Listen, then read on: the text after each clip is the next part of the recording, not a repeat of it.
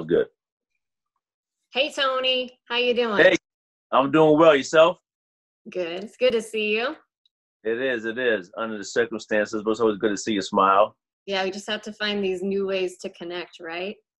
That's it. Gotta stay with the times. Yeah. Overcome adapt. Overcome and adapt, baby.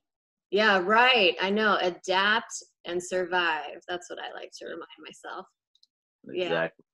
Well, I'm good. To, I'm glad to hear you're doing well. That your family's doing well. We're doing the uh, fine, the same as well. Um, what are some of the uh, good things that have come out of this experience for you? You know, that's a good question, and I kind of was pondering on that just today, uh, comparing and contrasting uh, working at home, vice at work.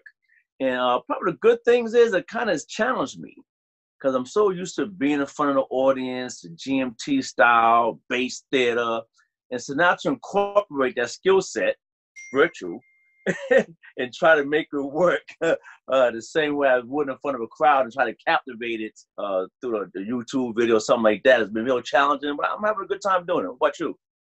That's good. Yeah, I um I actually kind of like working from home, and uh, l- let me tell you why. So okay. you know, I'm a mom. I have three kids. I got like some okay. Legos on the floor back behind me. I'm just trying to you know, not fall and keep keep them covered. Or step on them. and yeah, that's true. That that's really a painful experience. We've all been there. Um, I don't know. I have less mom guilt. I feel like um, I don't have the excuse to say I haven't been with my kids. I feel like I have been with them. Um, okay. I, I'm really encouraged to think that they might think of this as been a positive experience, that they've kind of learned something and grown through, throughout it. So I do like that that we've been able to spend more family time together than normal, although it is more than I expected, that's for sure. hey, I got a question for you. Uh, I'm what? still going through this. Have your kids, has it resonated with them as far as what's going on? Have you tried to break it down in layman's terms? My son's too like, doo, doo, doo, doo. he doesn't think anything right now.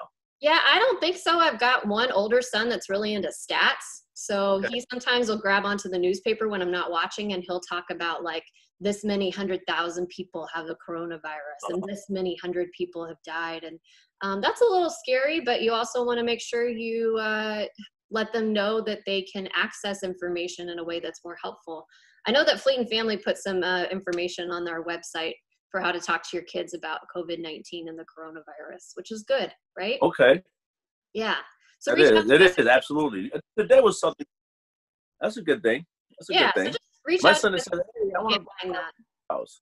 Mm-hmm. my friend Isaiah said, "Hey, I want to go by my friend's house when all this is over." So, but nevertheless, it's, it's good time to have some bonding time. We're doing a lot more reading together. I didn't have the guilt trip at all yet, but that's you had. that's, just, that's probably the mom in you. Yeah, exactly. It's a mom in me.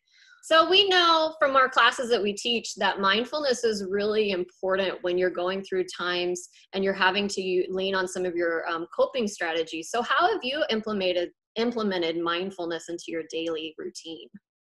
You know, I, honestly, I've probably taken the same routine as far as my mindfulness, but it's been enhanced. I'm doing it more.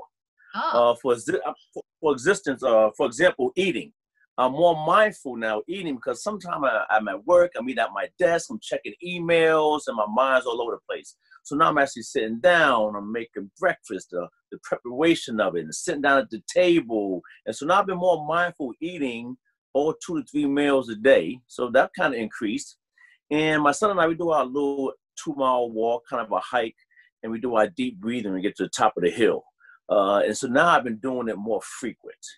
Uh, and I got my son doing it, my wife is doing it. So answer your question, eating more mindful, and on my hikes, I'm taking time to bring everything in, kind of find that happy medium, non-judgmental, in the present, uh, and it kind of has has done wonders for me. What about you? Awesome. Yeah, I've been doing it with the eating too, and then some of my other things like, you know, my daily cup of Joe. Sometimes. I can have more than I need to because it's a coping uh, mechanism, right? Right. So when I do it, I try not to do other tasks. I just say, hey, this is my time to decompress. But the other thing I've kind of taken comfort in is in my daily walks, I kind of look at the things that still grow and still thrive and are unaffected by this, right? Like plants and oh, yeah. birds. Life still goes on, even though some of us are completely stalled or might be experiencing a lot of pain and discomfort, right? That's a good point. Yeah. I want to my, my on my walk tomorrow. I want to uh, enjoy the ambiance of the plants and nature a little bit more and see how they're growing through all this uh, adversity. yeah, we'll have a moment together in our in our daily walk, right? Nice. There you go.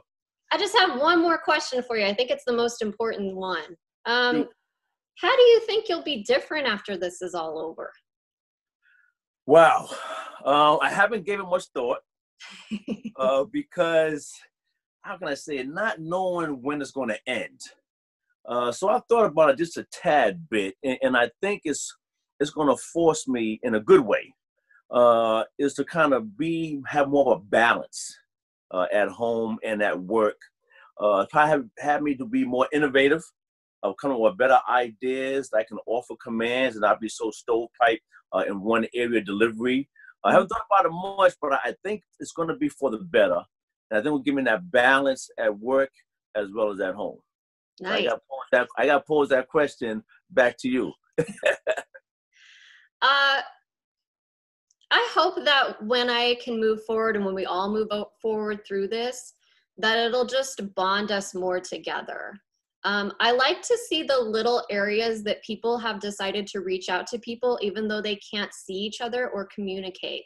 Like, has anyone in your neighborhood put those teddy bears in the windows to send a signal of hope? Or the I noticed it. Yes. Yeah. Yes, yes, yes. I have. Or the signs for our hospital workers. I hope that we continue to do that as time goes on. Um, like my kids, for example, can run out to our porch area and wave to the garbage man every day. Oh. And I love that they've had that connection with someone that we don't know. Um, but I think it, it brightens our day. Every once in a while, he gives them a little pull on the horn, and that's that's nice, nice, nice. really happy. So I think uh, you know things to come. We'll just see what happens. But um, I think you know, and I know, Fleet and Family is going to be here, and uh, absolutely really excited to see all of our clients when this is all over. We just will be chomping at the bit, right? That's it. That's I'm excited. Uh, like I said, we're being innovative.